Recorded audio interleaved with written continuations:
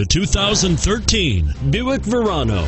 Buick Verano is a compact car built on the Delta 2 platform, designed and built from the ground up with the idea of it being a Buick and is priced below $20,000. This vehicle has less than 50,000 miles. Here are some of this vehicle's great options. Remote engine start, stability control, traction control, Bluetooth, front wheel drive, power steering, automatic transmission, cruise control, power windows, fog lamps. If you like it online, you'll love it in your driveway. Take it for a spin today.